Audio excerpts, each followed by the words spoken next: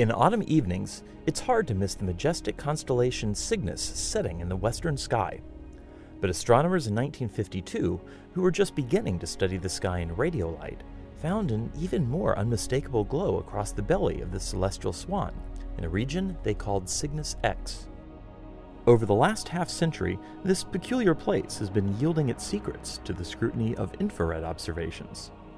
NASA's Spitzer Space Telescope has now provided the best view yet of what we now know is one of the largest single areas of star formation in our Milky Way galaxy. The Cygnus X complex is almost 5,000 light years away and is about 650 light years in diameter.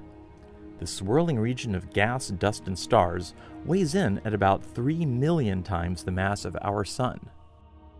Other better known star forming areas, like the Orion Nebula or the Omega Nebula, are lightweights by comparison.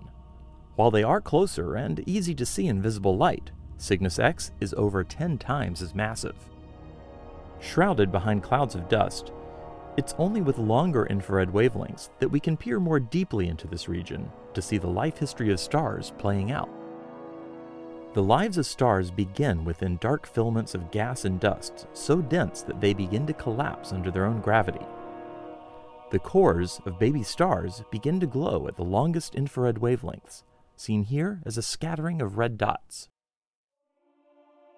When these massive stars ignite, they burst out of their dusty cocoons and tear apart the surrounding dust clouds.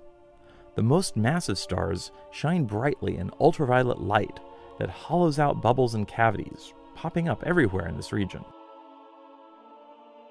As the stars whittle away at their surroundings, only the densest knots of dust survive. These lumps shield the dust behind them from the destructive light, forming giant pillars. Sometimes they look almost like fingers pointing accusingly at the destructive stars. Here, at the heart of Cygnus X, the entire story plays out in microcosm. From the protostar laden dark filament to the eroding pillar of dust, the early stages of star birth lay next to the final stages of a star's life.